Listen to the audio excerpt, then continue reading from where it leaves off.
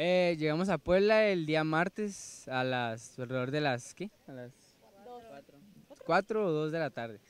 Y vamos a estar hasta el sábado también hasta esa hora y hasta ahorita hemos visto cosas muy bonitas. Ah, pues primero cuando el primer día que llegamos fuimos a la catedral a verla y está muy bonito. Todas las iglesias están muy bonitas. Ayer fuimos a Safari Zoo y también está sorprendente todos los animales que pasan alrededor de ti y todas las aventuras que hay. Pues todo nos ha parecido muy bien, creo. Eh, nosotros de Mexicali también somos de Tijuana y las ciudades son mucho más ah, ocupadas, hay mucho tráfico, mucha gente, entonces aquí como que está un poquito más relajado el estilo de vida y pues podemos apreciar toda la arquitectura que es muy diferente a la de Tijuana.